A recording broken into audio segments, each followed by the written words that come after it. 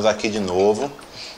E da última vez, para eu não me confundir no número, hoje estamos na oitava, né? Geração? Geração. Só que não mais. Só que não, é. Mas não estamos na nona. E, e agora? O que aconteceu dessa vez? Era fácil essa conta. Será que medir geração vai ficar retrô? É. Você me falou outro dia em 8.5, porque a gente, o nosso primeiro Games com Café. 8.5, é. eu acho que estamos na geração 8,5. 8,5. O nosso primeiro game, Games com Café foi a oitava geração dos videogames. Pronto. E é interessante que agora a gente está tendo esse papo de novo e não estamos falando de uma geração na frente, só meia geração. É, Será que a lei de Moore das gerações ah, é. se quebrou? Se quebrou, é mesmo. videogame era 5 anos mais ou menos, né? A média é. de uma geração. É, média, né? O videogame tem um pulo de geração interessante, né? E, e eu sempre vejo a conversa. É, é, é sempre bacana a conversa nesse sentido, porque tem gente que chega e fala hoje em dia: Ah, pra que, que eu vou pegar esse videogame, já que meu PC pode fazer muito melhor? E eu primeiro que eu acho sempre curioso, porque videogames e computadores em termos de performance, eles né? Tem gente que pensa que PC sempre foi na frente, ou até o contrário, e não, na verdade. Na verdade não. Na verdade não. Commander King foi John Carnac e John Romero lá mostrando pra Nintendo, ó, oh, finalmente conseguimos fazer scroll o seu rápido. Melhor, é, você deu logo o melhor exemplo, que eu sabia, suspeitei que era isso mesmo que você ia dar. O que você disse é a gente que, por exemplo, jogava até mesmo às vezes um jogo de Atari, tinha um hardware atípico até, Exatamente. tinha um scroll incrível que nenhum microcomputador poderoso. Scroll incrível, 60 frames. 60 frames garantido. Counter Strike Go, no mínimo. É. 240 frames por segundo. 240 frames é claro que do ponto de vista técnico, todo videogame sempre foi um computador, mas não necessariamente um PC. Videogame versus PC, especificamente PC. Qual é a geração que estamos no PC? Pois é, isso é incalculável, é inexistente. Nunca, né? Não faz nem sentido a pergunta. Será que não estamos tendo um sintoma do, do videogame estar mais próximo do PC? Em que o videogame agora também está com a geração meio borrada ali. Borrada, é. pois é, eu vi, a gente começa a ouvir que videogame tá similar a smartphone com esse lance de é upgrade, né? Assim, é. então, vamos falar, vamos dar logo o nome aos bois, né? Primeiro quem fez isso foi a Sony. Portanto, ela quem é, inaugurou eu, isso. Eu acho engraçado porque foi a Sony que fez primeiro, mas eu acho que não foi ela que falou primeiro. Foi a Microsoft que falou primeiro? Eu não tenho certeza. É tão. É, é mas... Então, o Scorpio Pro é mesmo, é quando foi. O próprio Slim, o Xbox One Slim, ele é um upgrade, não em desempenho, mas tem, por exemplo, o lance do drive de Blu-ray, um upgrade, um upgrade em mídia. Todo né? mundo pensa que é inédito, mas não é. No 360 já falávamos de placa Falcon, ah, é? placa não sei o que, e a processo melhor de não sei quantos nanômetros em vez do, do anterior. Até Super Nintendo, se você olhar o DAC que o, que o, o Baby usa, é outro DAC. Às vezes piora, às vezes melhora. Às vezes... Tem melhor RGB, então a parte de vídeo dele é melhor. Se é modificar, melhor. É, é, o, é o garantido. Então... Quando você colocou aqui os PCs os microcomputadores de jogos antigamente, né? Os videogames colocavam um VDP, né? Que seria uma placa de vídeo, é, em, em, termos é. simples, né? Pensado apenas para mover as coisas em alta velocidade, né? Especificamente. Hardware dedicado a scroll. A scroll. Basicamente era scroll, para quem não, é, né? Scroll, o que, se, que, que, são isso é, é, fruto dos projetos de fliperama, onde o objetivo era impressionar, né, o fliperama. Exatamente. E aí lá cada cada fliperama é uma máquina distinta, né? Com vários chips, a depender do jogo, né? E o fliperama saiu dessa equação. Estamos falando de console versus PC, e antigamente eram três batalhando por é, essa guerra, é. né? Era console, PC e fliperama. É, é, é verdade, é verdade. É. Mesmo, ainda tem isso. E, o, e, o fliperama é um console, a arquitetura dele é, é muito é construída voltada para o fato de que você vai jogar nele, assim como os consoles, é, né? Assim então o fliperama está mais próximo do console do que do PC. Nada disso é realmente inédito, é apenas as coisas girando, né? O mundo dando voltas. Estamos aí de novo, aí agora os consoles estão nessa da geração 8,5.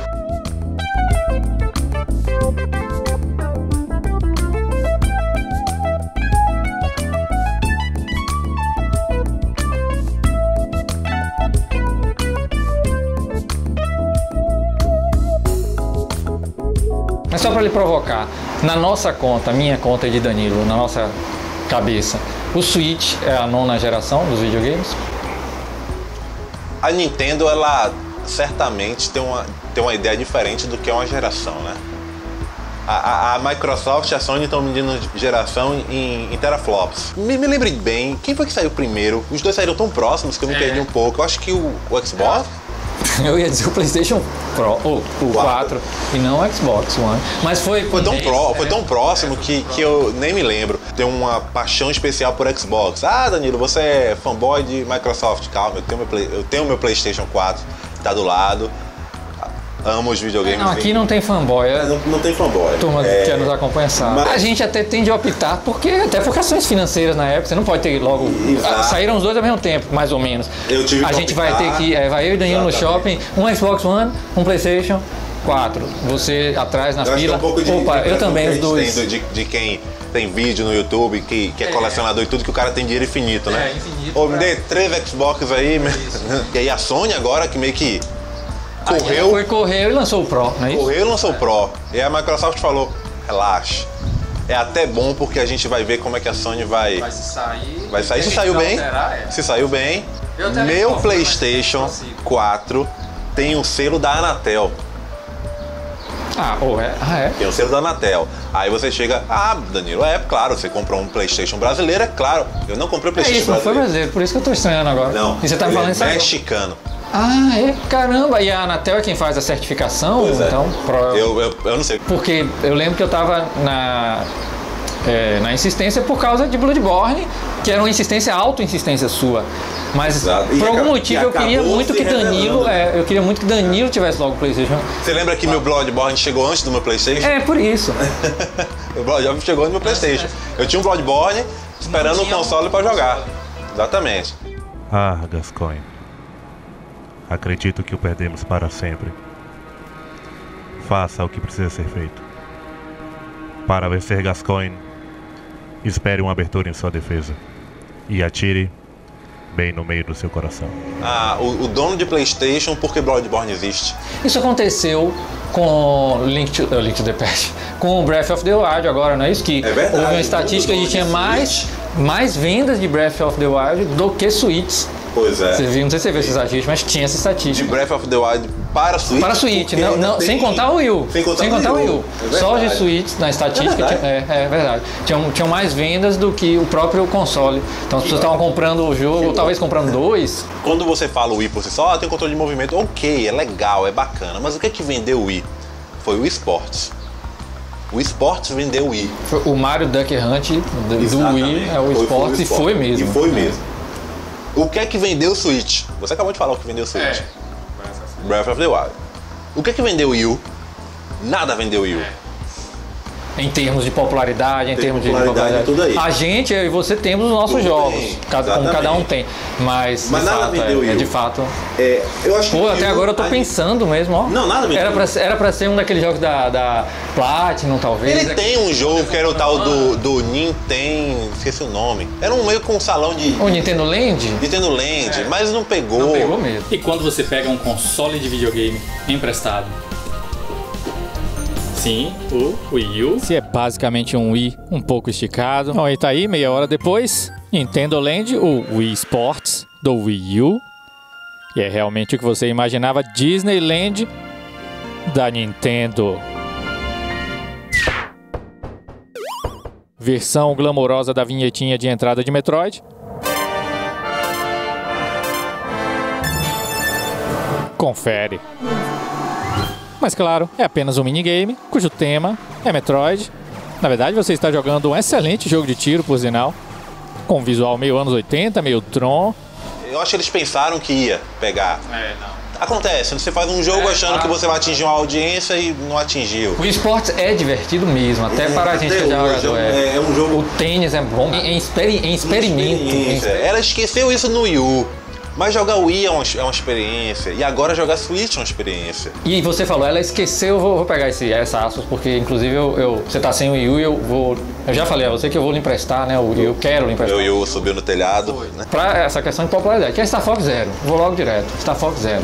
Não, é que eu, eu tô me devendo essa experiência. Eu quero que você sinta o gamepad por você E eu sei que ali. você adora. É, isso Não, pode. não adianta eles relançarem pra Switch. Não, não, é no adianta. Wii U, é um jogo de Wii U, só que é um jogo de tiro. Então, de fato, como você perfeitamente colocou, o esportes time maravilhoso, um jogo super popular e até tinha um apio pra, pra, até pra gente. É. E, era, e é, na época era uma novidade interessante mesmo. É, não é, foi. É, Duck Hunt e Mario lá atrás, não precisa nem falar, perfeito na era, que era Mario, não tem nem o que dizer.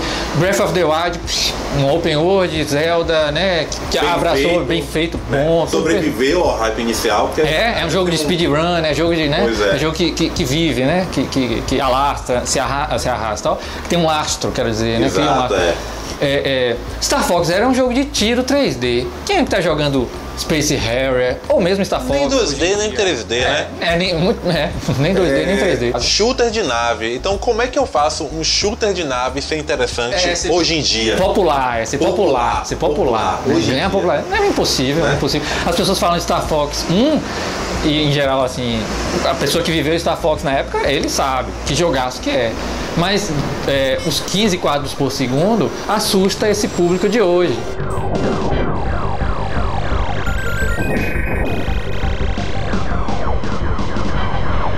Um jogo que essa galera joga hoje, um Super Mario Sunshine, um Super Mario Odyssey, é até mais difícil. Mas é difícil com uma linha de raciocínio, né? É, é uma mentalidade que você. É, é um capacete que você usa pra jogar esse jogo. Quando você chega no Mario World, que é outra mentalidade mentalidade. completamente diferente, aí o cara não dá o shift. Isso que você falou é perfeito para eu retornar para zero, para Star Fox Zero, Sim. porque Star Fox Zero, Miyamoto, ou seja, quem te, seja lá quem for que estava com ele, quem sabe até o nosso honorável Satoru Iata, quem sabe. O analógico, eu e Danilo somos fãs de mirar com o analógico. Você falar mirar com o analógico para pessoas como eu, para eu e Danilo, a gente, acha, a gente já passou horas, a gente já passou horas conversando sobre isso, né? Teve episódio disso?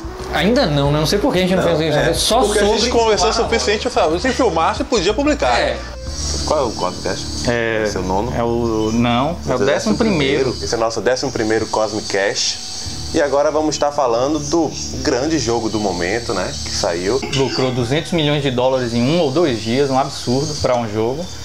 Vamos conhecer um pouquinho melhor esse jogo, Vamos né? conhecer um pouquinho, né? Afinal de contas. Não, controle, joystick. Não, Danilo, Call of Duty é FPS. FPS com no joystick é brincadeira, né? Aqui a gente Não, vai jogar não. direito, mouse Não. e teclado. Não, não. Como não? Não, isso aí é coisa do passado, rapaz. Hoje em dia você tem que jogar aqui. Isso aí, pô, tem que apertar tantos botões, tá tudo aqui. Pra que, Peraí, peraí, pra que peraí. isso? FPS no controle você não tem precisão nenhuma. Agora eu vou te mostrar que eu mato você quantas vezes você quiser aí, que pra te mostrar que o controle Eu quero que você sinta o giroscópio do Wii U fazendo o apoio ao movimento do analógico. É isso que é, difícil de compreender para Eu ouvi falar Sei, que sim. esse jogo o controle é terrível. É, é, o, é o que está no popular, mas É. não tem jeito. Se a pessoa que joga jogo de nave 3D, como eu, como você que é fã, Confie no gamepad do seu Wii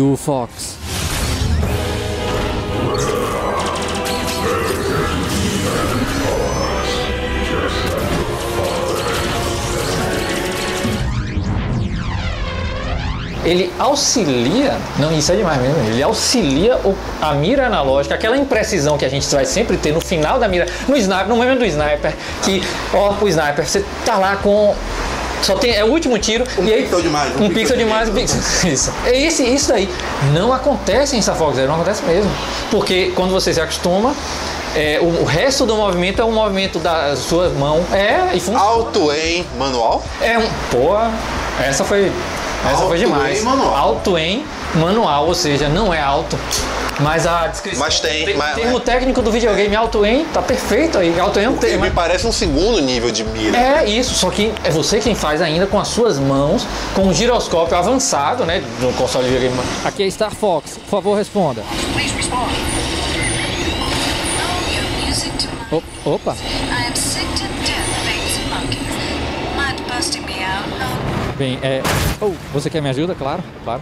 Miyazaki não iria usar isso, um giroscópio, num jogo desse. E Miyazaki é de outro tempo. Miyazaki é um, é um- é um- é cara bem mais jovem do que Miyamoto. É, porque a Nintendo no Ah, eu faço o que eu quero, É, significa que que você. Porque a Microsoft e a Sony, é, no no painel das gerações, só tem um papel molhado que eles sabem jogar para ver se gruda, que é o papel molhado dos teraflops. né? Então tem, tem uma tabela, né? De geração, e aí na- no espaço 8, 9 que tá vazio, tava vazio oitavo, o nono ainda tá, eles pegam um papel escrito teraflops, molha, joga. Perfeito, Para Microsoft e Sony, as próximas 10 gerações já estão definidas. Né? Teraflops. O setor de marketing já está preparando a propaganda do PlayStation 9. Eles tentaram, Eu, eu sei de pessoas que gostam. Tem Eu uma na minha frente aqui, essa Eu era a gosto, piada, é, você não deixou nem eu terminar. É, por exemplo, Danilo, por exemplo, é um usuário gosto, eu gosto. de Kinect, é um usuário real, concreto. Você já me mostrou, você já me fez comando de voz. No Kinect ainda um, você tem, tem capítulo nosso que começa com filmagem minha Ah, no é. Kinect. Atenção, amigos do Cosmic Effect! 1990 finalmente chegou. 16 milhões de cores, 16 bits de processamento, blast processing. Only Microsoft and Sony does what Nintendo don't do anymore porque eles saíram do Brasil.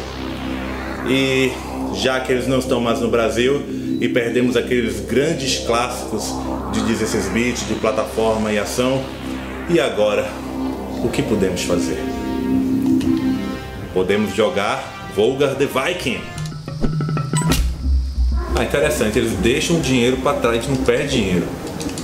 O dinheiro corre atrás da gente. E por que que temos agora uma geração 8,5? É, 8,5. O Switch é uma geração 8,5. Não é 4K, Ele não engloba o 4K. Exatamente. Que foi o que aconteceu no PS4 e no Xbox original. Todo mundo falou, agora é a hora do 4K. Sony e Microsoft falaram, nope. A Sony é 1080 com mais frequência e a Microsoft é 1080 com menos frequência. Todo mundo ficou.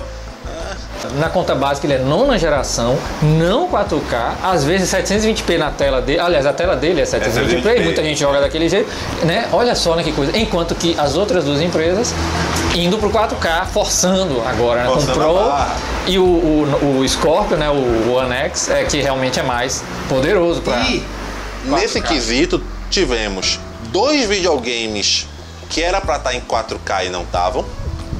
E um videogame que era pra estar na, na, na vibe de Nintendo de eu faço o que eu quero, pra estar com projeções holográficas e som. E não, eles são, um- em termos de gimmick, ele só é um upgrade. Será que é porque essa história de ficar jogando o papel pra ver se cola e o fato de que quando o papel não cola, só daqui a cinco anos que você vai jogar o papel de novo?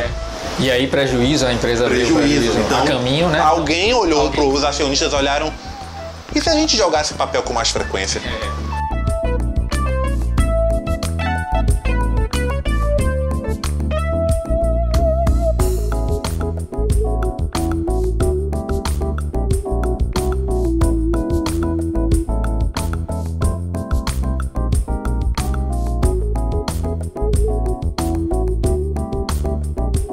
gente não tem o, o PlayStation 4 Pro, mas eu sinto que você está interessado no One X, é uma pergunta, porque Danilo é meu primeiro amigo que tem uma TV 4K e eu tô assim, quase que olhando para ela assim, e eu digo a vocês que Tá- tá é de aqui, Fora, fora do frame.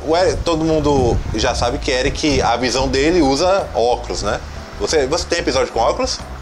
É, não, não, pois é, Não, sempre com a lente de contato, não. mas o Danilo tá falando é importante. Ok, mas ok, ele usa lente corretiva.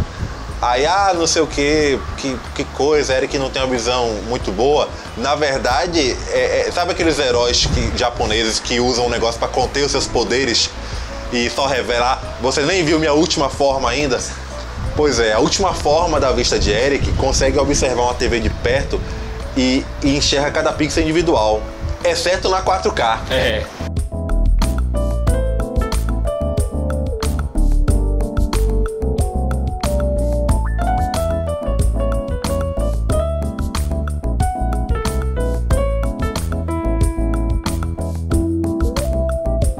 Quando eu cheguei pra ver, ele tá falando pra quem é míope de alto, alta dioptria, né, que é o grau, como fala, sabe disso. De perto a gente vê mais nítido do que uma pessoa que tem a dioptria zerada, que tem uma boa visão média. Pois é. Então eu posso realmente me aproximar mais. Eu não consigo, é, eu, eu começo a borrar bem antes. A minha, né? Então, isso é muito útil para mim que fico calculando ali é, em frame master, fazendo zoom, fazendo perfil. Quando eu cheguei na TV 4K, foi a primeira experiência. Foi- A gente tem aquela experiência de loja, mas não conta. Aqui não, Danilo calibrou tudo certinho, a TV dele, né? E aí eu pude ver, né? Olhar de perto, um conteúdo 4K que ele me colocou ali é, é demais. A gente fica imaginando. Primeiro, para console antigo, ele é um múltiplo perfeito para o Frame Master, por exemplo, para o OSS, para os apps que Ah, Danilo, você comprou porque você já tá com o PS4 Pro e não Nem sei o tenho. quê. Nem tenho. É o, 2160p. dobro, é o dobro de 1080p e o triplo de 720p. Valores precisos, que Valores isso é importantíssimo. 1080p para 720p, quem tem Frame Master sabe do que a gente está falando, ou similar. E A proporção de 1080 para 720 é uma vez e meia. Cadê o é meio? tragédia. Que meio? Cadê Não o meio meio pixel? pixel. Não existe meio Problema. pixel. São Danilo encontrou uma TV no Brasil, ainda teve que apostar um pouco na sorte, porque na hora de você comprar no Brasil, pode ser que por dentro ela seja diferente. É. Não tem documentação na internet sobre isso. Essa parte foi a aposta mesmo. É, e a dele deu certo. A TV dele faz a escala de 1080p para 4K sem usar filtro anti-aliasing.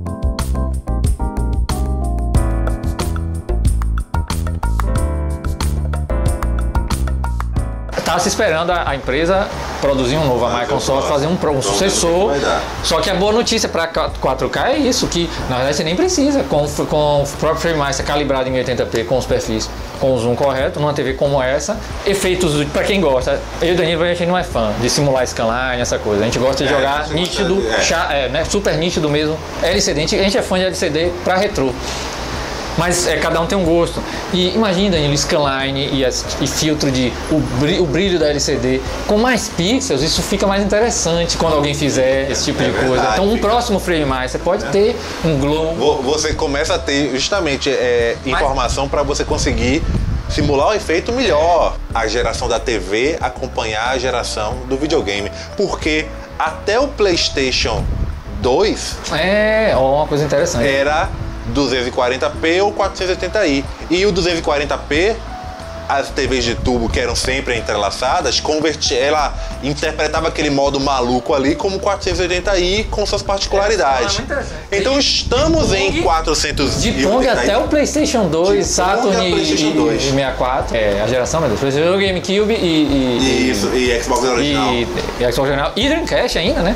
E Dreamcast. É, Dreamcast ainda tem um 480p ali pelo VGA, mas todos eles estão E- ainda no 480i, 240p. Toda uma história de videogame na mesma TV. Aí agora criou-se o conceito de geração de TV. Seu upgrade de televisão é um upgrade de, é um é parte do upgrade da geração de videogame, veja só. E não é a primeira vez que acontece. Né? Comprei o 360, usei por umas duas semanas. Joguei no Xbox 360 por vídeo composto na televisão de tubo, sem ler o texto direito, né? Da, o texto de diálogo, é, joga muito RPG. Ele vinha com dois jogos, um jogo de corrida chamado PGR 4 e um jogo chamado Too Human. É legal, é legal. Lembra um pouco um jogo da Capcom, Danilo? É, Da Capcom. é, é um da Capcom, assim, que é. Que tem é Lost Planet, assim, tem essa Eu não vibe. conheço Lost Planet, mas essa você tá vibe, dizendo. É mesmo? Quem jogava Xbox 360 no lançamento como Danilo era um show, sem, sem exagero, assim, mostrar era meus amigos, eu, eu tive de novo. Ah, porque o bacana de você comprar um videogame da geração mais nova era impressionar o- os amigos. Você me impressionou porque eu tava lá na época PCzista, bem na época É. tinha, tinha um oito. você sabe eu, que você eu, tem, né? eu levei Oblivion pra gente comparar com o PC. O livro do PC com, com o ali, ó. 360. Eu lembro que com Fallout, quando você fez o upgrade para uma 1080p, a gente fez uma nova comparação, já contando pi- É. calculadora na mão, contando pixels, você com sua supervisão lá. Que eu também comprei de novo a versão com a lancheira, quem é que lembra essa versão? Boa. A lancheira, até hoje tá aí.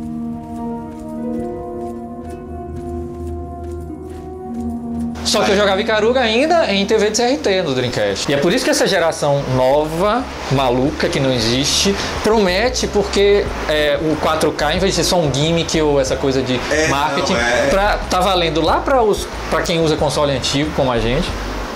Tá valendo é, até para os consoles atuais, por exemplo, Danilo tá aí com PlayStation 4 e Xbox e não teve. Eu, eu já vi, já joguei ali é, Nioh com Danilo e tá lindo porque você duplica a quantidade de pixels, a proximidade dos pixels é maior porque a sua TV tem a mesma dimensão da anterior. O motivo físico é esse mesmo, um pixel do lado do outro, sem, com menos espaço né, entre os pixels. Pega o PS4 e o Pro, mistura, o One e o One X mistura, E aí, dessa mistura, você tem que deletar. Você tem que fazer um desses dois videogames dos dois lados. Dizer assim, ó, isso você foi um erro, você tem que deixar de existir.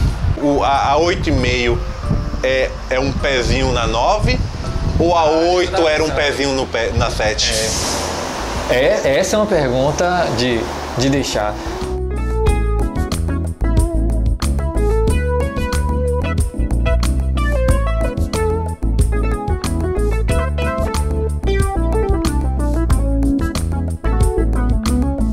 Se é o, smartphone que tem a, o- a segunda câmerazinha e mais memória interna logo de cara e o novo Android, blá blá blá, ou o novo iOS, ou se há uma conexão maior com a anterior, Essa oitava geração começou com a, com a chuva dos, dos portes. dos portes, é. Isso é um mérito da, da sétima geração. A sétima geração terminou com um bang. O tal do número mágico 4K e a TV 4K, né? Como a gente fala TV, né? Mas pra gente é, e pra vocês também é monitor de videogame, Monitor, né? é. Monitor de videogame ou de computador.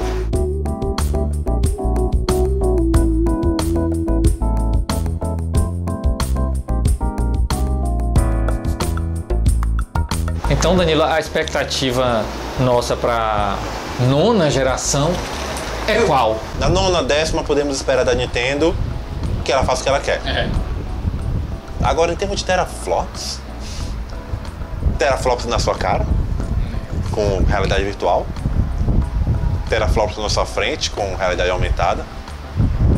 Não sei, não sei dizer. Entendeu? E se a próxima geração vai ser uma proporção 720 para 1080, que é uma vez e meia, Hum, ou se vai ser uma proporção vezes dois, fiquemos espertos. fiquemos espertos.